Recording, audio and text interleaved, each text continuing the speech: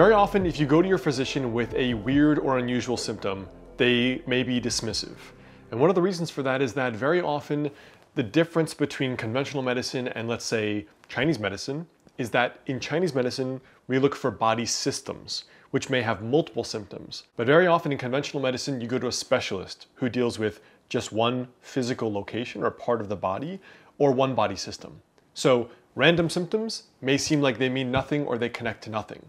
But that's not true in our field. Hey guys, I'm Dr. Alex Heyne, author of the Health Book Master of the Day and Doctor of Acupuncture and Traditional Chinese Medicine. Now before we jump in, there are two very important links right below the video. The first is if you'd like to become a patient of mine locally in Los Angeles or virtually via telemedicine, you can reach out to my private practice and clinic right below this video. And the second is for a free guide, which is four daily rituals that can help you add years to your life with traditional Chinese medicine. Symptom number one is waking throughout the night. So there are all kinds of insomnia in Chinese medicine. In actually biomedicine as well, right? There's onset, there's sleep latency insomnia, there's all kinds.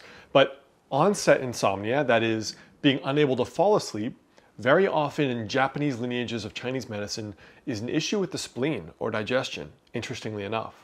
But waking throughout the night, I find very often is one part a liver dysfunction, as well as, let's just call it an adrenal dysfunction. So liver and the heart and kidneys. So the heart, kidneys, this, this axis is really the, almost in a way, the HPA axis. So when you think about adrenal stress, as the layperson would call it, elevated heart rate, heart palpitations, feeling stressed or anxious, very often my patients will just say, I just easily feel stressed.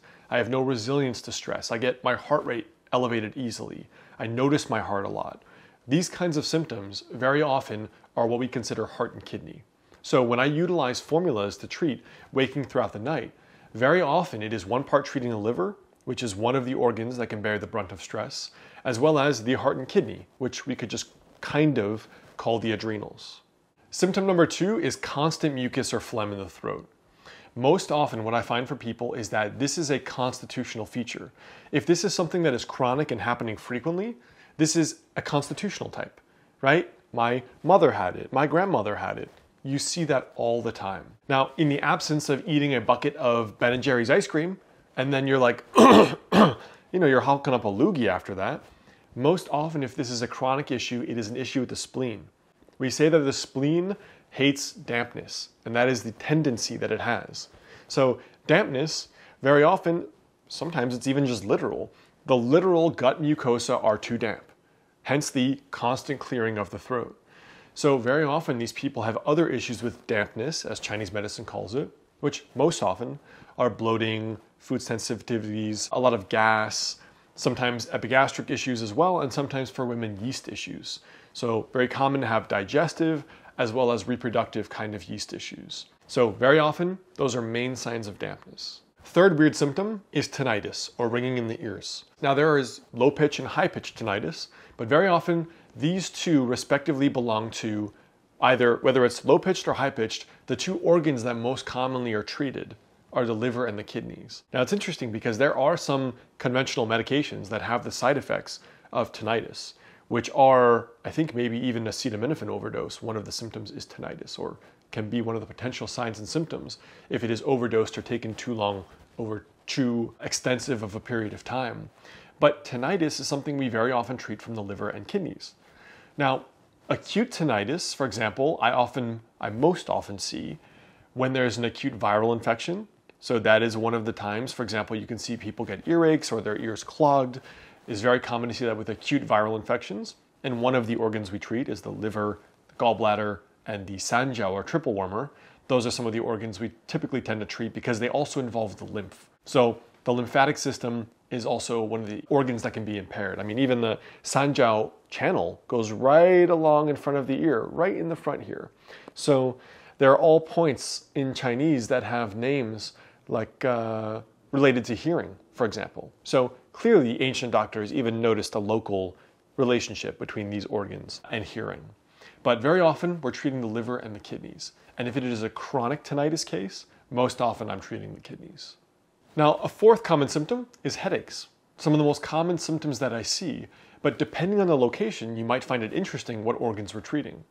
Very often, frontal headaches are digestive headaches. So they're either issues with the spleen dash pancreas, right? These are people who have SIBO, food sensitivities, food allergies, who are prone to dizziness, fluid retention, that sort of thing. Ancient Japanese doctors called this toxic water, which is probably a chronically congested lymphatic system, which is why, for example, the primary issue, the core pattern is digestive, but they have all these secondary branch issues, which are frontal head pressure. Very often there's an issue with the liver going on there as well. A lot of people with reflux or sinus issues often get these frontal head pressure headaches. And a lot of the time it's a distending kind of pressure. It's not always a full blown migraine or severe headache, but people often report there's a constant pressure here that just feels better when they push. It's almost always something digestive going on. Second kind of headache would be temporal headaches, right? And these temporal headaches often show up in people with migraines. So those temporal headaches, very often we treat the liver and the gallbladder.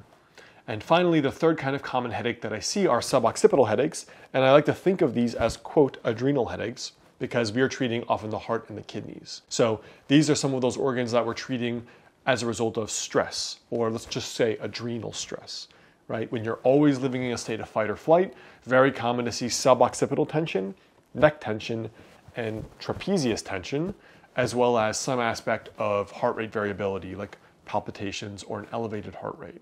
And finally, issues with hair, skin, and nails. They're some of the most commonly reported complaints to me by mostly my female patients in my practice.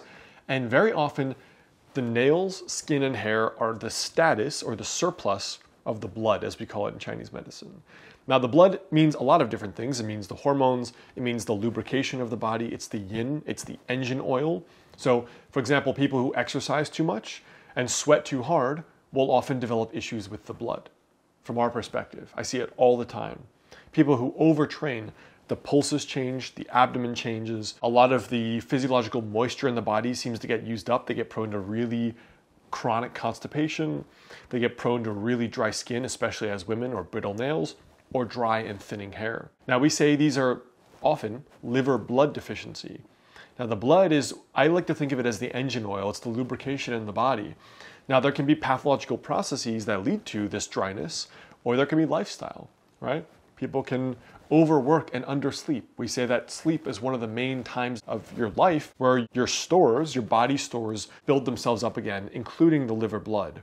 So it's common, of course, for women to report issues with their nails, their skin, and the hair.